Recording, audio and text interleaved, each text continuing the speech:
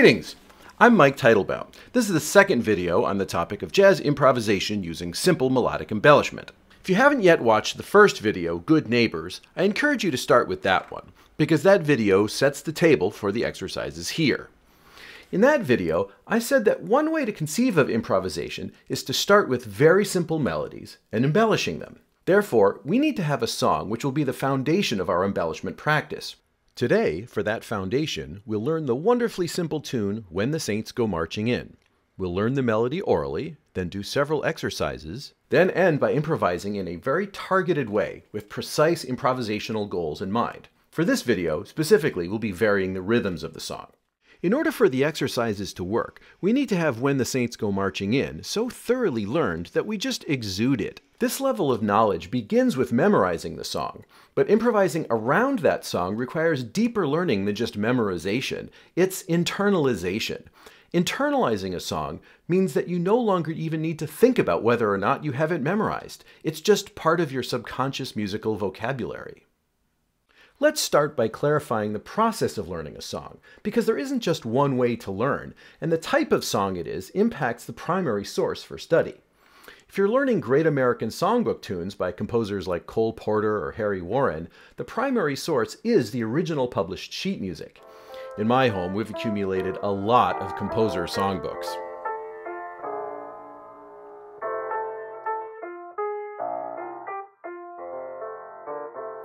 If you're studying tunes by amazing recording artists like Herbie Hancock or Horace Silver, the primary sources are their own recordings, so the best method is to learn their tunes by ear or perhaps transcribe them directly from their recordings.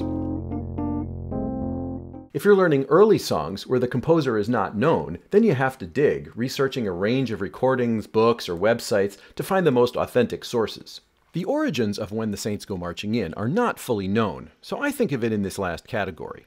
I listen to many recordings by different performers to learn the melody. I'll start by singing along with my students in the Ithaca College Jazz Ensemble. Here's how it goes.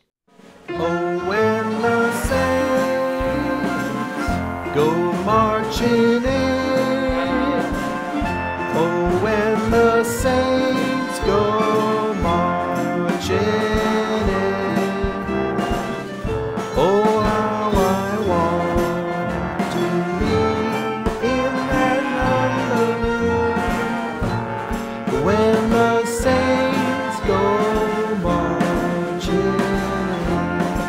sing along.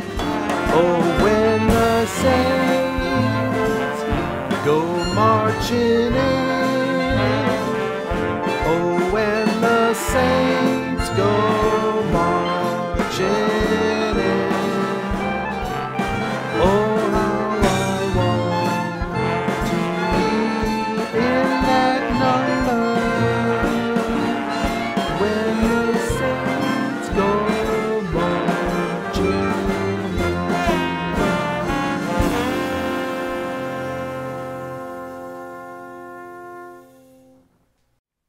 Now to learn it on your instrument. If you're a singer, make sure to have an instrument ready to go. Even a simple piano app on your phone is better than skipping this exercise. Rather than reading it from sheet music, I want to exercise your oral skills first. Oral, oral, oral, oral, oral. Learning melodies orally helps build a sense of relative pitch. One exercise I do with my students is to apply oral skills to their instrument by pointing to numbers or solfege referring to notes of a scale or scale degrees. This is ultimately how we will learn to play when the saints go marching in on our instruments. I'd like you to practice this little game in concert F major. Of course, if you play an E flat instrument, that would be D. If you play a B flat instrument, that would be G. I'll show you numbers and solfege in this little number clicker app that I made. F will be 1, G is a 2, A is 3, and so on. Okay, ready? Let's play.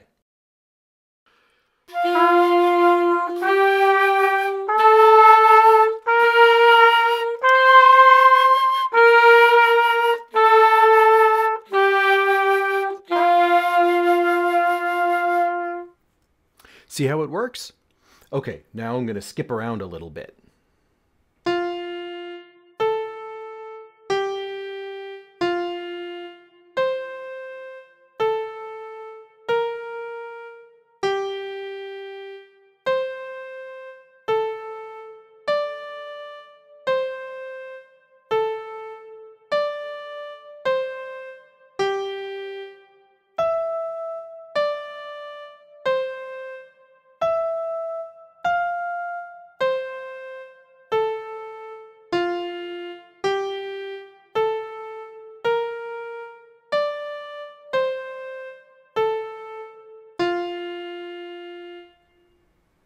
Okay, now I'm going to do When the Saints Go Marching In on numbers. Keep playing the scale degrees as I click them.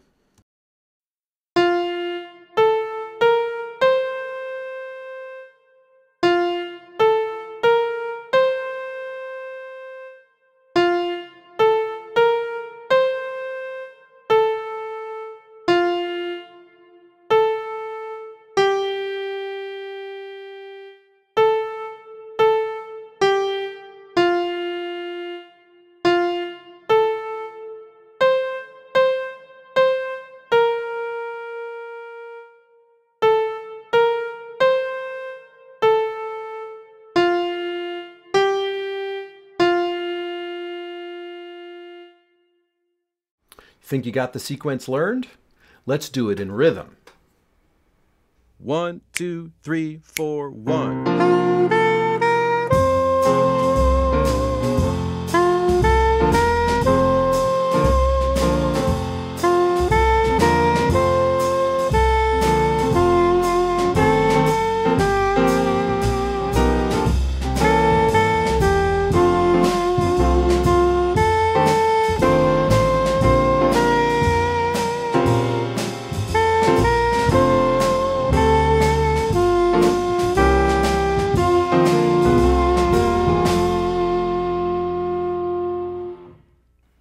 Did you memorize the sequence yet? If not, scroll back and do it a few more times. It's the sequence of numbers or solfege symbols that's really important, because that's how we really internalize a song. And it's the sequence that you use to play a song in all 12 keys. More on that in the future.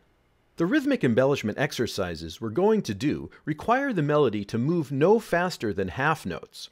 Those are minims if you're British. So we're going to distill the melody down to an even simpler version.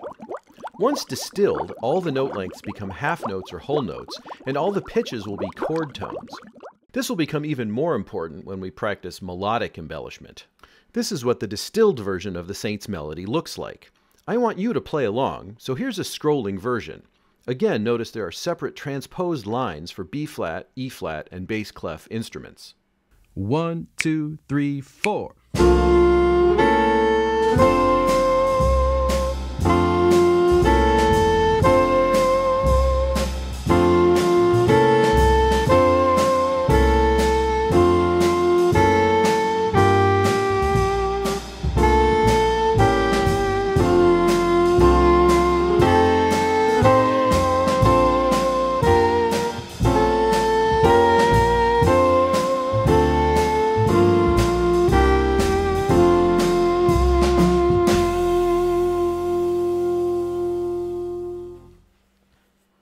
Is this distilled version of the melody a little unexciting? Yeah, it is, because we need it to be. It needs to be simple yet recognizable, so we can practice embellishing it in an organized way. We're going to add several syncopation patterns to this distilled melody. In the opening bar, instead of playing two half notes, we'll change it to add this little syncopation, and we'll anticipate the next melody note, like this. We'll apply the syncopation to the entire distilled melody, using the same pattern every time, changing the rhythm of each measure that has half notes. Be sure to keep the distilled melody in your head while you play or sing this variation. The original notes from that distilled melody are circled. Okay, here we go. Play or sing along. One, two, three, four.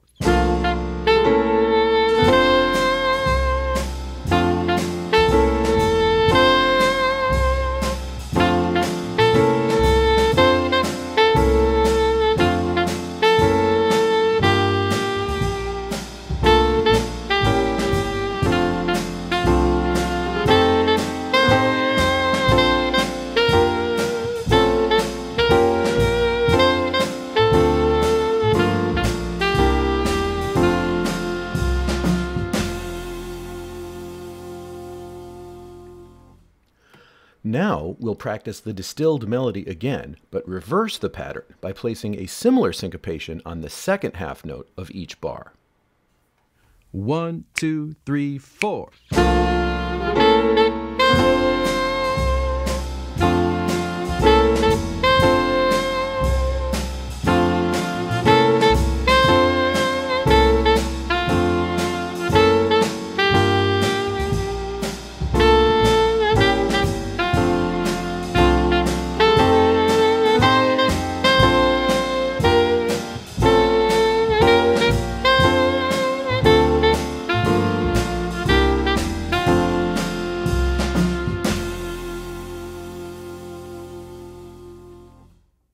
Kind of fun, right? A little more interesting?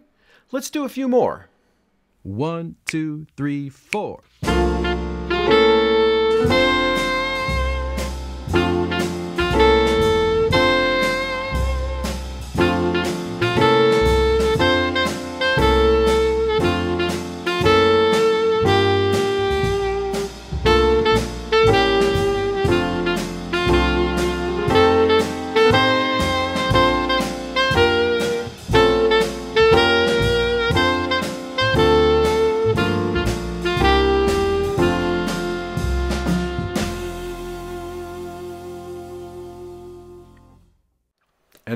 Reverse it. One, two, three, four.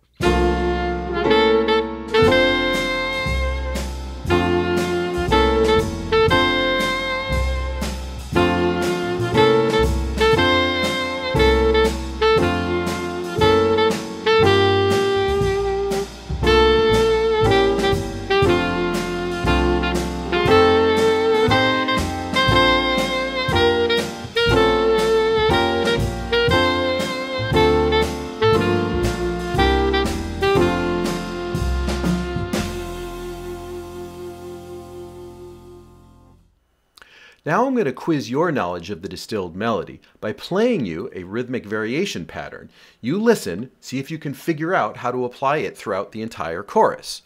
Okay, here's how it goes. One, two, three, four.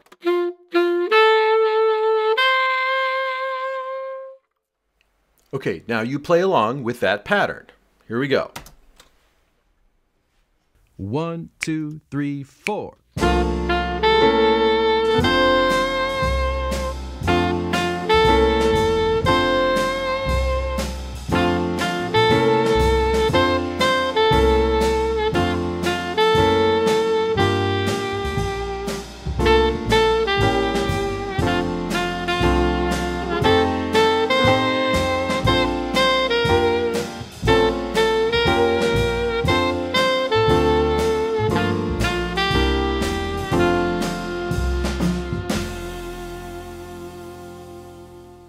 And now, reverse it.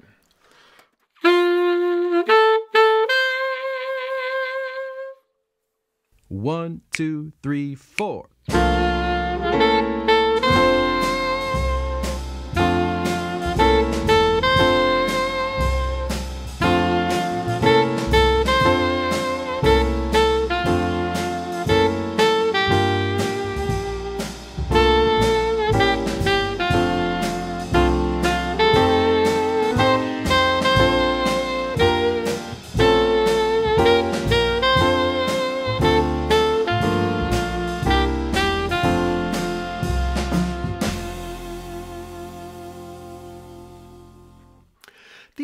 Variation exercises are fun, but they don't feel particularly spontaneous. So next, I'd like you to do the distilled melody, but vary the rhythms, mixing the patterns we did before spontaneously along with any other rhythms.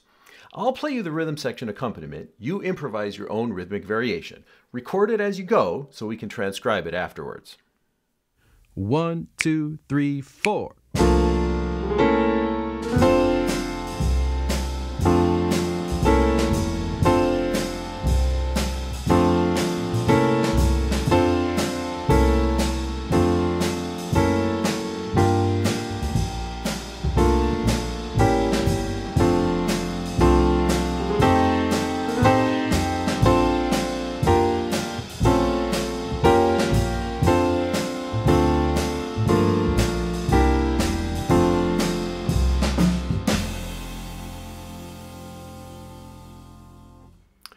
If you weren't fully satisfied with your improvised rhythms, scroll back and practice it again.